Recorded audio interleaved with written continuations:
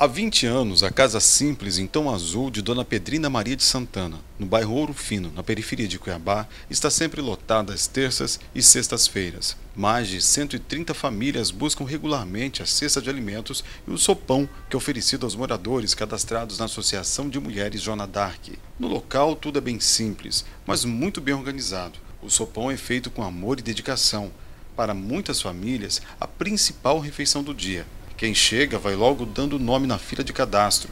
Depois é só pegar a cesta de alimentos e a refeição, quentinha, cozida ali mesmo. Daniele Leobas dos Santos participa como voluntária. Ela sabe muito bem a importância de projetos como esse. Eu tenho duas meninas, né? Duas crianças.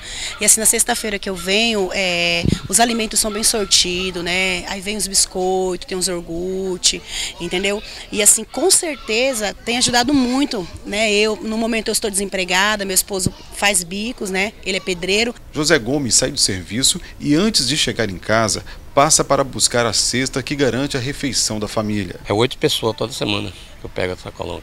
Outros 15 bairros divididos em vários dias da semana recebem o projeto. Mais de 800 famílias são beneficiadas. O transporte dos alimentos é feito pelo colaborador, Paulo Henrique, no veículo doado pela Assembleia Legislativa. Tem a família esperando São Nascente, então vamos levar agora mais de 200 pessoas para fazer o sopão entendeu? E nós continuamos, o trabalho continua, não, não vamos parar por aqui, né? Dona Pedrina Maria de Santana é incansável, participa desde a seleção dos produtos até a distribuição. Ela sabe que depende de parceiros para continuar com o projeto. Hoje a gente está nesse patamar, que a gente tem 20 anos de casa já, fazendo esse trabalho, e graças a Deus a Rede Comper toda a vida nos ajudou, a gente corre atrás.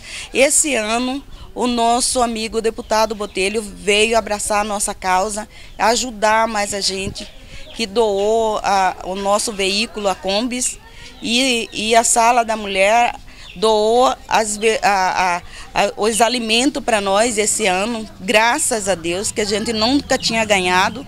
Tudo que é oferecido à população é resultado de doações. Supermercados e outros parceiros fornecem verduras, legumes, frutas e alimentos não perecíveis.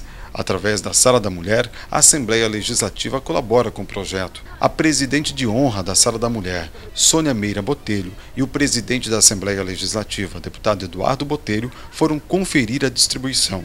No local, eles viram que tudo que é trocado pelo ingresso social chega a quem mais precisa. É muito gratificante ver e comprovar pessoalmente o trabalho deles. E a gente ajuda com a sala com os alimentos básicos, né? o macarrão, o arroz que eles usam aqui, é, vem de lá.